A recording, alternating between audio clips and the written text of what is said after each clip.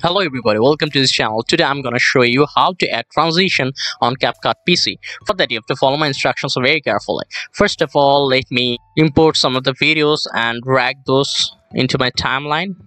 Okay. You can see that I have added three clips here. I'm adjusting the length okay the place for adding transition is mainly at the joint of each clip. So you can see there are many options here but this is our desired option that is transition and under this section you'll be able to see many transition you have to just drag this transition to the joint. Like this you can follow the same. And let's see how it looks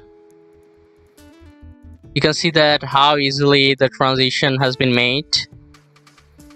Let me give you a full view. Okay for changing the duration of the transition you, you have to click on the transition and then you can see uh, options here for duration. You can change it from here and you can also apply to all so that's how easily you can add transition. So if this tutorial helped you like this video and don't forget to subscribe to my channel. See you in the next one